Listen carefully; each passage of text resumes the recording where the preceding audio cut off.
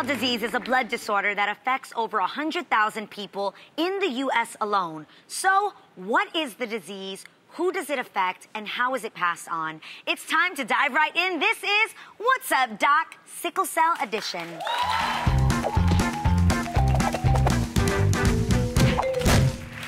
Joining us is Pfizer's Chief Patient Officer, Dr. Freda Lewis Hall. Woo! Thank you for joining us. We love it when you come and teach us. Okay, can you start off by explaining to us what is sickle cell disease? Yes. Sickle cell disease is an inherited disorder that affects red blood cells. Oh, okay. Okay, so usually our red blood cells are uh, round and they're flexible and they flow smoothly through our blood vessels carrying oxygen throughout our body.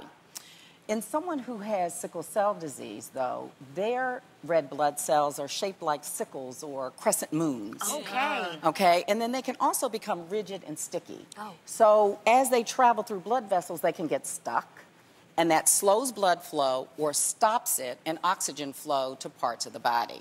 Okay. That's not good. Now, this can cause, it's not, and it, it causes a whole host of problems. One of them is um, sudden, intense, and I'm talking about intense pain. Uh-oh. These are called vaso-occlusive crises or pain crises. And in addition to that, what can be caused is infection, organ damage, and even stroke. Wow. So the other thing that happens in people who have sickle cell disease is that these sickle cells, they don't live as long as normal cells do. Mm-hmm. So they live like 10 to 20 days as opposed to the usual 90 to 120 Wow, days. wow. So what does that do? That causes this constant shortfall of red blood cells. That's called anemia. And this can cause things like fatigue. Wow. So, how do you get sickle cell disease? So I mentioned that this is an inherited Yeah. disease. So someone that has sickle cell disease has received two sickle cell genes, one from each parent. Mm. Okay? But I want to tell you something else that I think is really important. And that is if you receive one sickle cell gene from one parent, you have something called sickle cell trait. Mm-hmm. Now, people with sickle cell trait have normal cells, and they also have those crescent or sickle shaped cells, but they don't usually have the symptoms that someone with sickle cell disease has. Mm-hmm. But because they have the gene, they can pass it on to their children. Okay? So this becomes really important to know. If you carry the sickle cell gene and you're planning on having children, Yeah. then you should know your health history and you and your partner should consider genetic testing Yes. or genetic counseling. Yeah. Oh. Wow. So important. So important. Yeah. Sickle cell disease is common in the African American community. Is that right? That's exactly right. In fact, in the U.S., most people who have sickle cell disease are of African descent. In all, it's estimated that one in about 365 African Americans are affected by this disease. Wow. One in 365. Now, it's important to know, though, that it isn't just African Americans. Uh, sickle cell disease can affect other people Hispanics, uh, people from Southern Europe, Oh, wow. from the Middle East, and also um, Asian Indians. Okay, they can also be affected. Now, how do you treat treat sickle cell disease? So, despite the fact that we know how uh, this disease is inherited, and we've got now newborn screening tests that are expanded, um, there's still not really good treatment options for patients who have sickle cell There's disease. no cure. Wow. And there is no cure.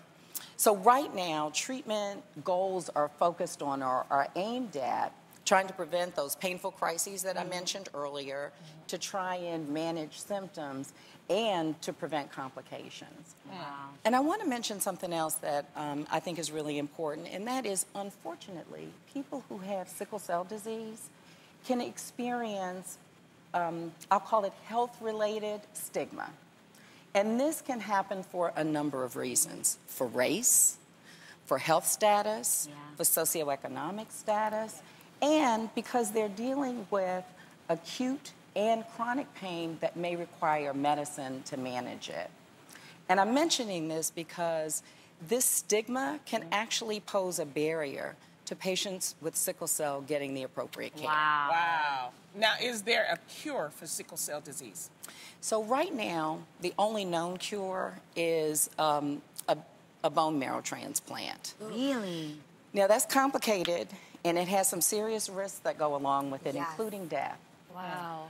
So um, I sound like nothing but bad news. But, No, you're teaching No, us some what we good can news. do. Yes. but there is good news. Okay, so look I at want that. to say that. So there are a number of um, research um, activities that are ongoing that have real promise and that we're excited and hopeful about. okay.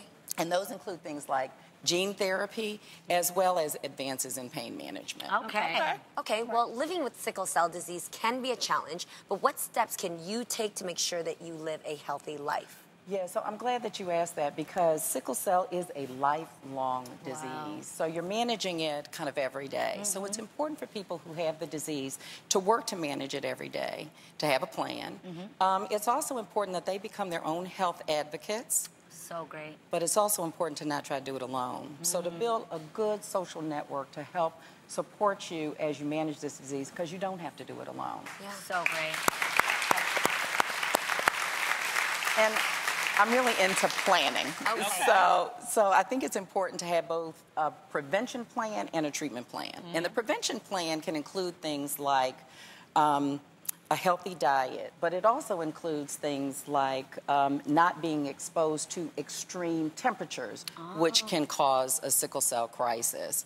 Um, to learn to manage stress and fatigue, and also yeah, so that's uh, another one of those. So it's really important also um, for them to have always their medical history and their doctor's contact information.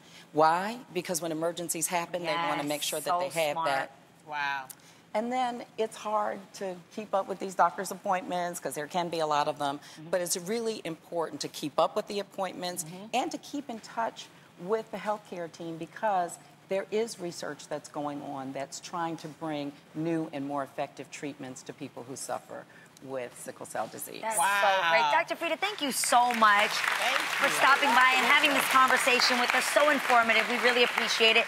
Make sure that you all visit Dr. Freda's website, gethealthystayhealthy.com. It's a great resource. And for more information, head on over to thereal.com. We've got to take a quick break, but we'll be right back. This is The Real. That's good.